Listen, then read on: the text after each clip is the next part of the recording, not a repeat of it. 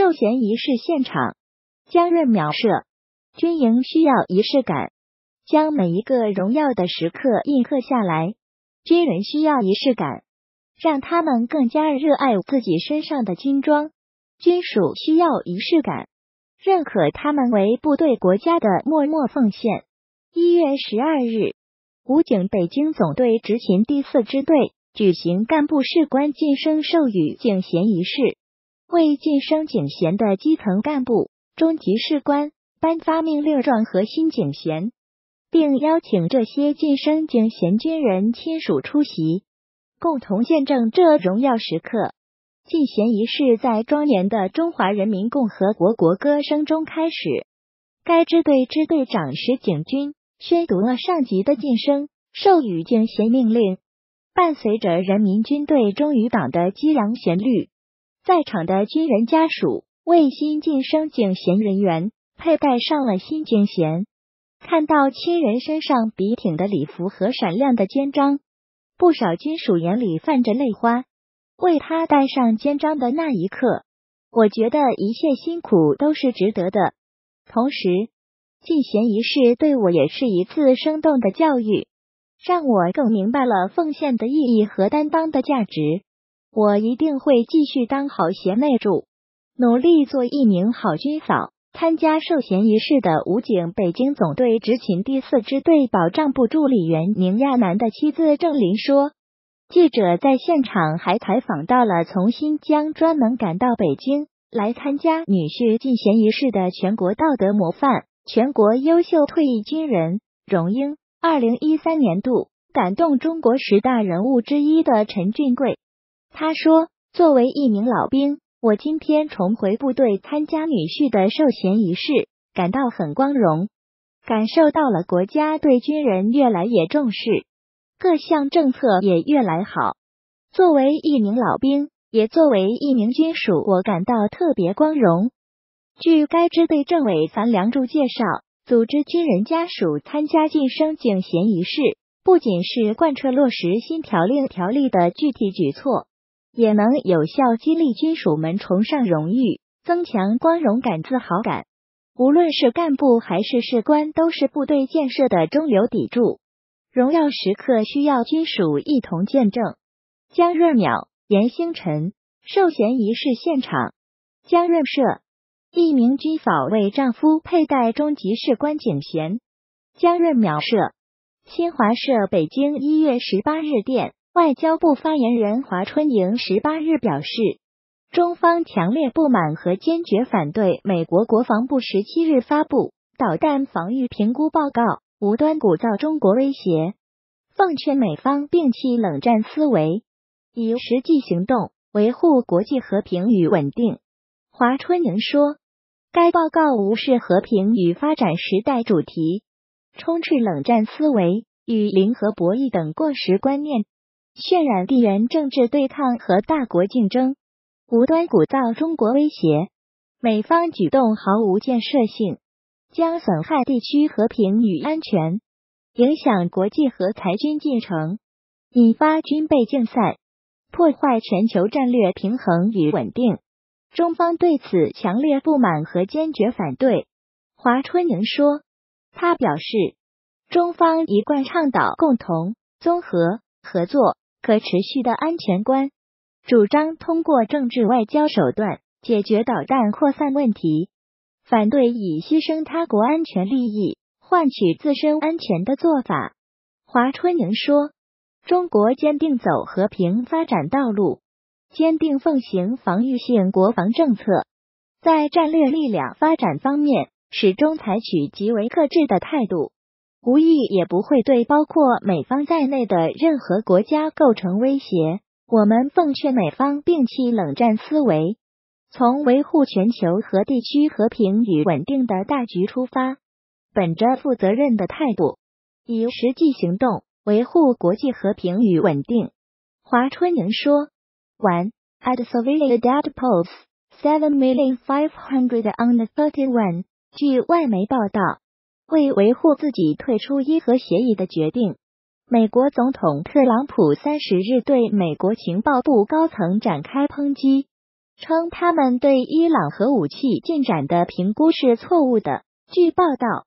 特朗普当天早上在社交网站发文称，当谈到伊朗的危险时，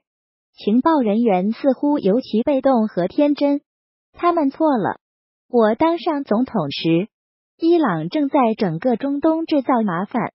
还有很多。在第二条发文中，他不仅称伊朗最近在测试火箭。还嘲讽情报部门领导人应该回去念书。二十九日，美国国家情报局局长科茨以及中情局局长哈斯佩尔在参院情报委员作证时表示，基于情报评估，没有发现伊朗正在发展其核武能力。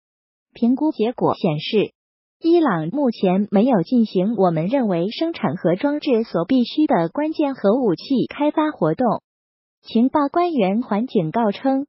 如果德黑兰未能从联合全面行动计划中获得其预期的实际贸易和投资利益，